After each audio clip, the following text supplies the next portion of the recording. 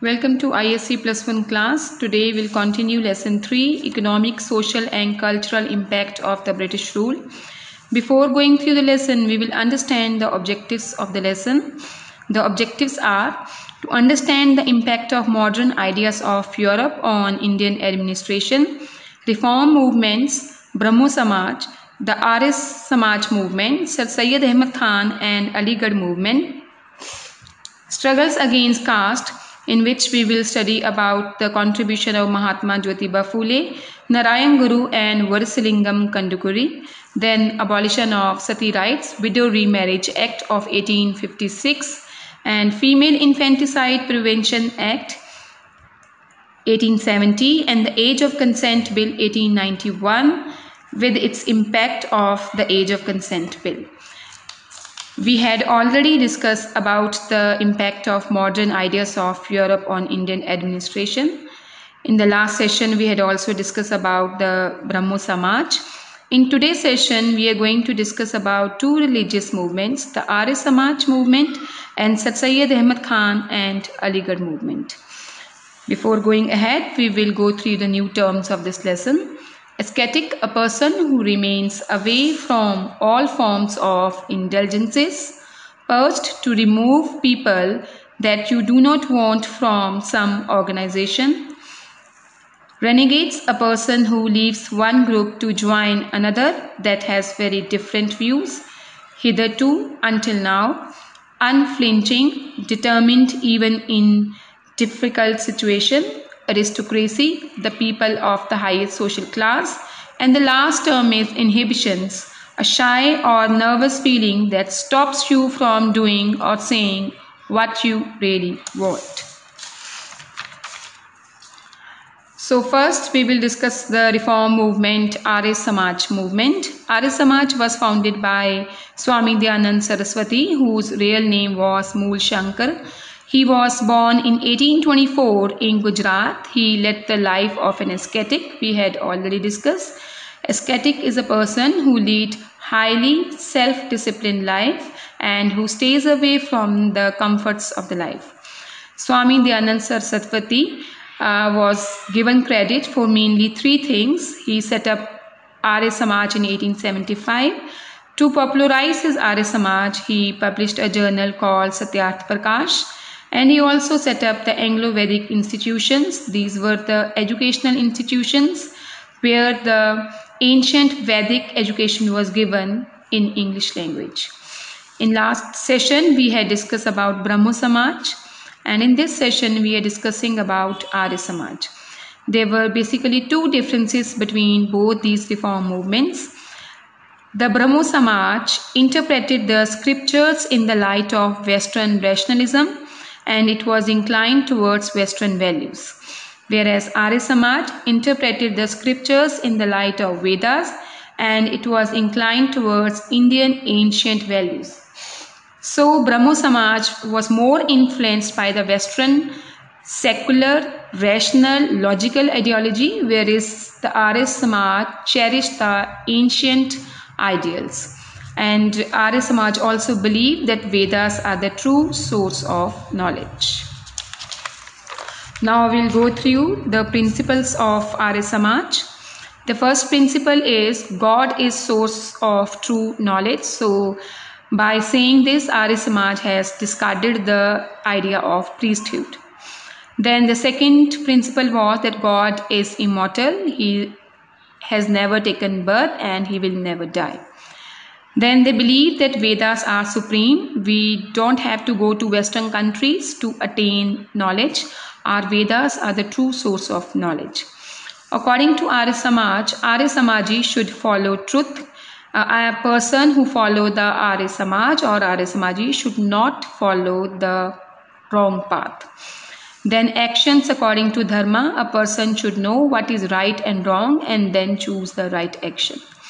Arya Samaj believe in well-being of all, that all human beings should be treated equally and they should be developed equally. Arya Samaj believe that justice should be done to all. There should be no exploitation on any basis. Then Arya Samaj believed that ignorance should be dispelled and it is the duty of every person to ignite the light of knowledge inside him. Then Arya Samaj also believed that it is the responsibility of every one of us to do self progress. And lastly, Arya Samaj believed that if we had to choose between social interest and individual interest, we should always give importance to the social interest, the interest of the society. Now we will discuss contribution of Swami Dayanand Saraswati. Mainly he has contributed in two spheres, social and religious sphere and we will also discuss his contribution in political sphere. In social and religious sphere, Swami Dayanand Saraswati condemned untouchability and casteism. Untouchability was a practice which was used in the ancient times according to which the upper caste Brahmin used to treat the lower caste very badly and if by mistake they used to touch the body of the upper caste they used to say that they have become impure so swami dayanand saraswati refuted this idea of untouchability and casteism he was of view that the renegades should come back to Hinduism, those people who have deserted Hinduism and adopted Christianity or some other religion should come back to Hinduism. And for that, he has started a movement called Shuddhi movement in Hinduism.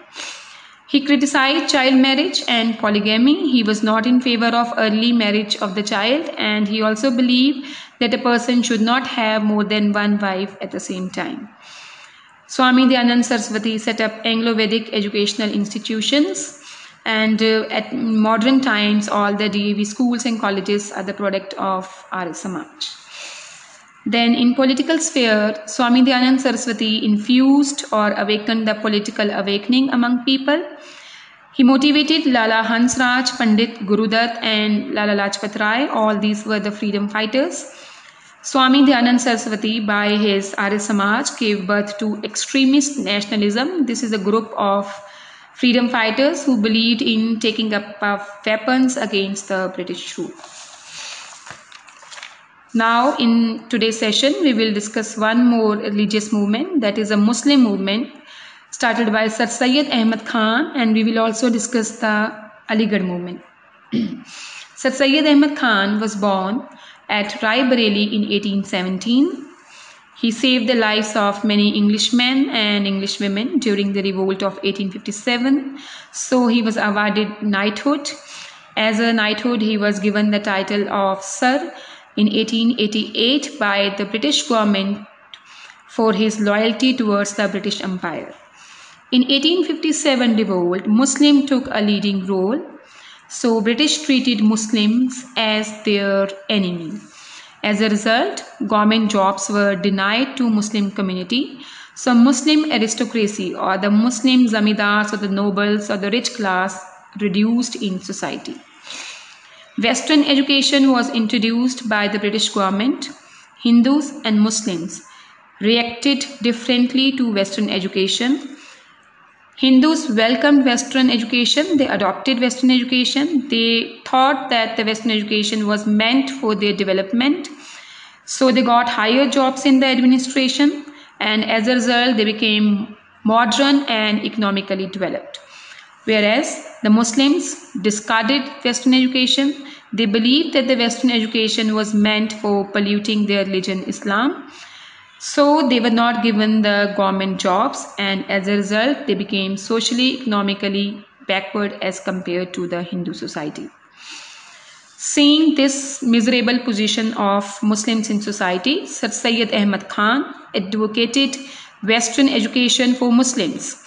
He said, it is not written in Quran to not to learn English and he asked the people to believe only in Quran and not the other commentaries of Quran. So he asked the people that Quran is not against learning the Western education. So Muslims should equip themselves with the Western education. He denounced polygamy. He was also against marrying more than one woman at the same time. And he was also against giving talaq to Muslim women on any pretext. He worked for the women education and end of Parda system in the Muslim society. Sir Syed Ahmad Khan advocated Western education we have already discussed this. He had a political insight, a political thought behind this also. As Hindus have welcomed the Western education, so Sir Syed Ahmad Khan believed that English educated Hindus would be more in the government jobs. So with the passage of time, the Hindus would dominate the Muslim and in future if the British government would leave India, the government will be transferred its power to the Hindu society. So in India, there would be Hindu Rashtra in which the Hindus will exploit the Muslims. So he asked the Muslims to get Western education and how he asked Muslims to get Western education that we will discuss now. He set up Aligarh Scientific Society in 1864. Then he set up Anglo-Oriental College at Aligarh in 1875 where most of the staff of this college was European and at present this college has developed into a leading university in the education of medical sciences. It is Aligarh Muslim University at present. Slowly and slowly, the campus of Anglo-Oriental College developed into a political arena and Aligarh movement and Muslim separatism in India developed here. No doubt, Sir Syed Ahmad Khan has asked the Muslims to to take the Western education and promoted some reforms. But there were very drawbacks of his contribution that we will discuss now. His attitude was narrow. He was concerned about only Muslim community. He was not concerned as Indian as a whole. Then when he propagated Western education, there was a sense of political insecurity in him that if Hindus will learn English, Hindus would dominate the Muslims in future. He was only concerned about the Muslim aristocracy, that means zamindars and nobles, and he did not care about the, the poor Muslim people. He had great contempt for Hindu English educated middle class and he also disliked Indian National Congress he has given his views in his journal Pioneer, where he condemned the working of Indian National Congress. Along with Muhammad Ali Jinnah, Sir Syed Ahmad Khan gave the theory of two nation theory and he also became helpful in setting up the first ever Muslim party in India, Muslim League, which ultimately led to the partition of the country. So Sir Syed Ahmad Khan was only in favor of nobles and zamindars and he had no concern for the poor Muslims and peasants. I hope you have understood till here.